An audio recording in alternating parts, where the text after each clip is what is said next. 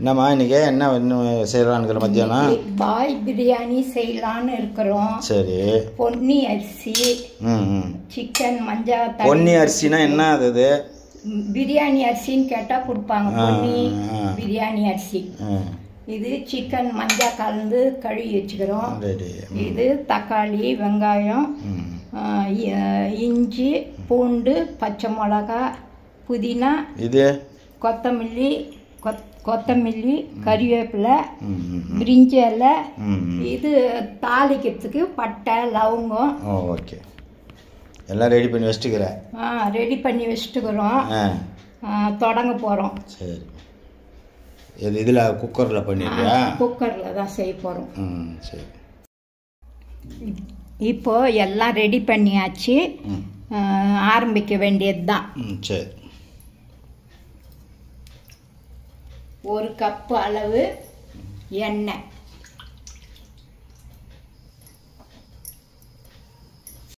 காஞ்சிச்சு. பட்டை லவங்கம் போட்டேன். வெங்காயம் தக்காளி பச்சை மிளகா போட்டேன். இப்போ புதினா கொஞ்சம் வதங்கிடுச்சு. புதினா கொத்தமல்லி கறிவேப்பிலை போட்டு வதக்கணும். ஒரு பத்து நிமிஷம் வதக்கணும்.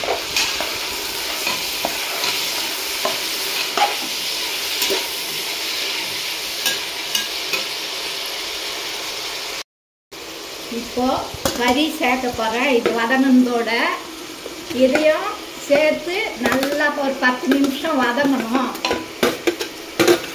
அப்போ தான் நல்ல டேஸ்ட் வரும்.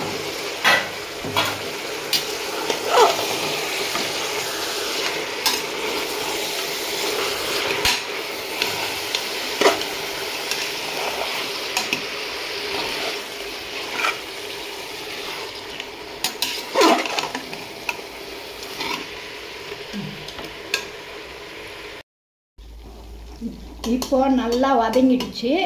இப்போ வந்து இஞ்சி பூண்டு பூ சேர்க்கணும். இஞ்சி பூண்டு சேர்த்துட்டு கல் உப்பு சேர்க்கணும். கல் உப்பு. ஒரு ஒன்றரை ஸ்பூன் மிளகாத்தூள் சேர்க்கணும்.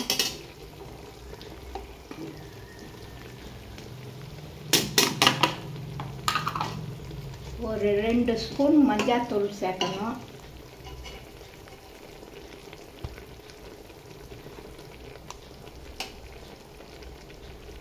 சேர்க்கணும். இப்போ நல்லா கிளறி விடணும். அப்பதான் இஞ்சி பூண்டு எல்லாம் நல்லா கம கம கமன்னு வாசனையாக வரும். டேஸ்ட்டாக இருக்கும் பிரியாணி. நல்லா கிண்டி விடணுமா? நல்லா கிளறணும்.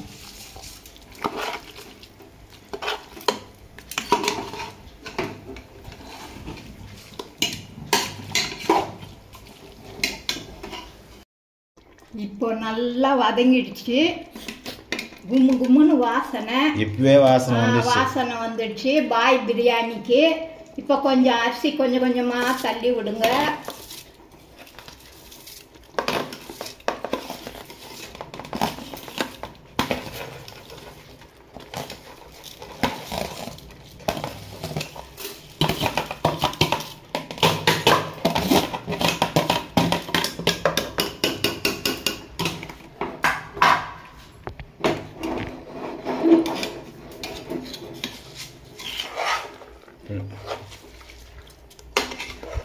நல்லா கிளறணும். வாசனை செமையாக வருது. அரிசி நல்லா கிளறிக்கினே இருங்க.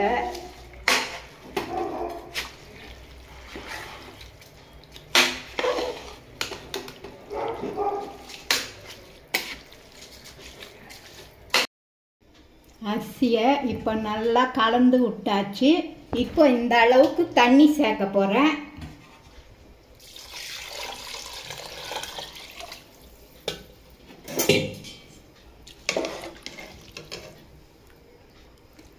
நல்லா வாசனையாக இருக்குது இருங்க தொழுறேன்.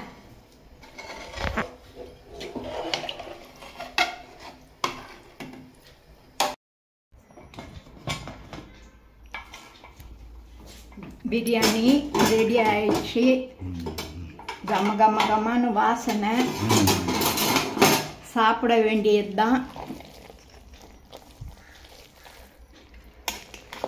ஆவி பறக்குது. ஆவி பறக்க. ஆவி பறக்குது. வாசனை கம கம கமன்னு ஆவி பறக்குது. பிரியாணி ரெடி. பிரியாணிக்கு தயிர் பச்சடி செய்யணும்.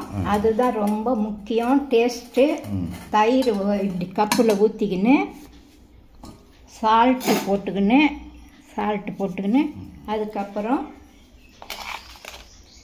வெள்ளரிக்காய் தள்ளிக்கணும்.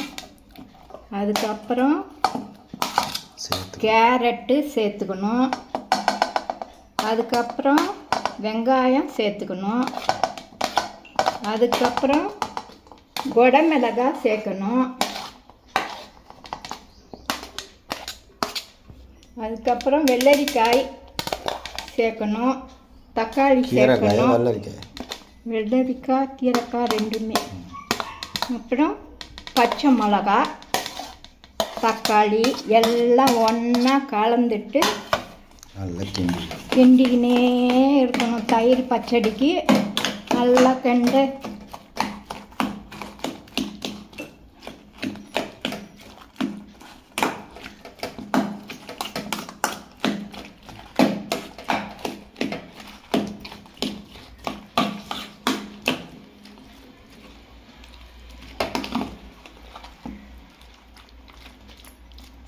இப்போ தயிர் பச்சடி ரெடி கொத்தமல்லி மேலே கொஞ்சம் தூவணும்.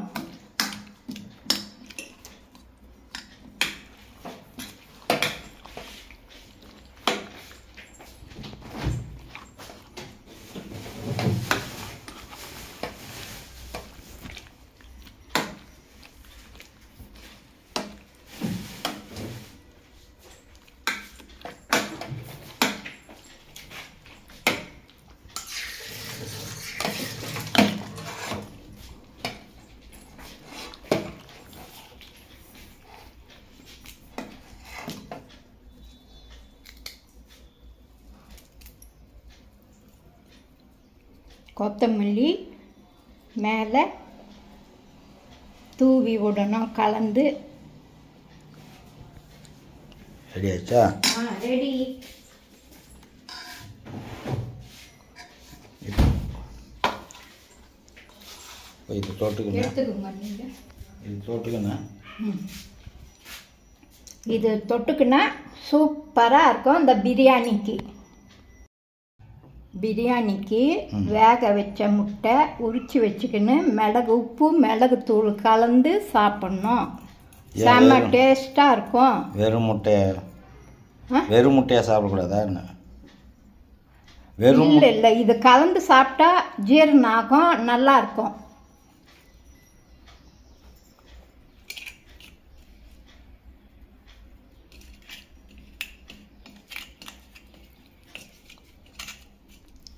இப்போ மொத்தம் ரெடி ஆச்சா இப்போ எல்லாம் ரெடி ஆயிடுச்சு. ம் ஓகே ரெடி ஆச்சு பிரியாணி ரெடி ஆயிடுச்சு. தயிர் வெங்காயம். தயிர் வெங்காயம் இது பண்ணோம்.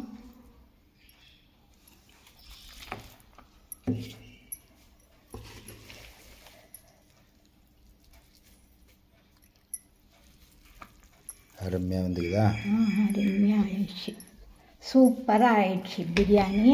இதை பாருங்கள் நீங்களும் செஞ்சு சாப்பிடுங்க.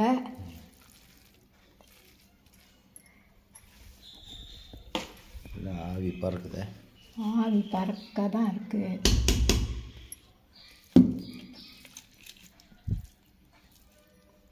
ஓகே அடுத்த பிரியாணி ரெடி. அதுக்கு சைட் டிஷ் என்னென்ன? சைன்டிஸ் இந்த இது தயிர் வெங்காயம் வைக்கணும். பிரியாணிக்கு தான் முக்கியமா? தயிர் வெங்காயம் இதுதான் முக்கியம்.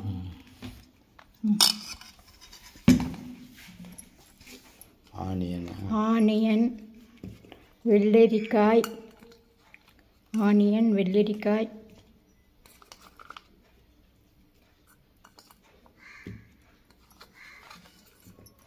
இது அவி- அவிச்ச முட்டை மிளகு சால்ட்டு போட்டு கலந்தது. சேர்த்து நீங்களும் சாப்பிட்டு பாருங்க. ஓகேவா? பிரியாணி ரெடி அப்போ? கறி ஓகே.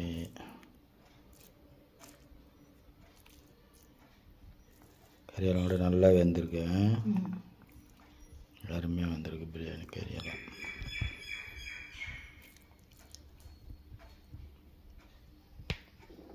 சாப்பிட்லாம் வாங்க. நீங்களும் செஞ்சு பாருங்க. நீங்களும் செஞ்சு பாருங்க. நல்லா செஞ்சு சாப்பிடுங்க நல்லா செஞ்சு சாப்பிடுங்க.